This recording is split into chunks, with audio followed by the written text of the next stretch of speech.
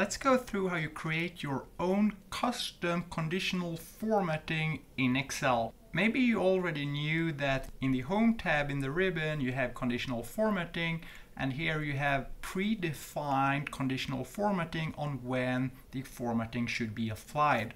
For example, you could select all the units and then conditional format all the cells with a rule that says if the cell value is greater than then it should be formatted.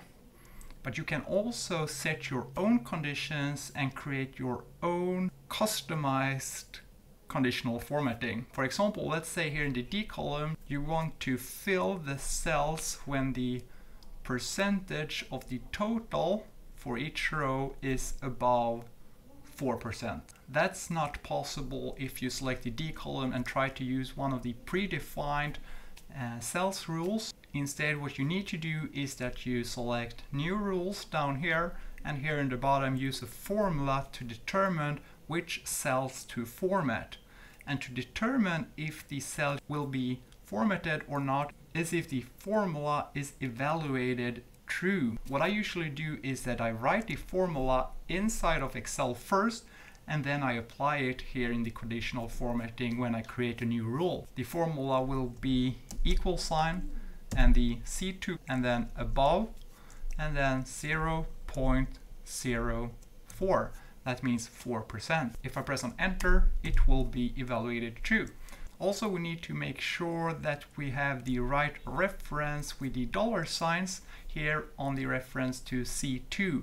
For example, if we select the entire column and use this formula, then the first cell will be D1 and then D1 will evaluate whether or not C2 is above 4%. So we need to make sure that the formula is written in the first cell that we later on will have our conditional formatting rule set to.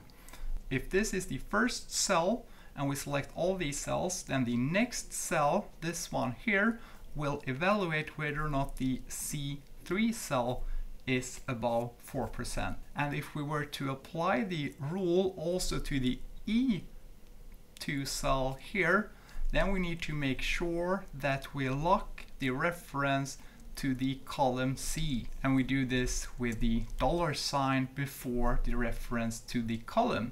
In this case, if we were to copy this here to the E column, we will see that the reference will still be to C2. And now we're happy with the reference and we copy it. We select our cells. We head over to the Home tab in the ribbon, press on Conditional Formatting, New Rule. Here in the bottom use a formula and then we paste our formula. And then we go to format and then make our format when it's evaluated true.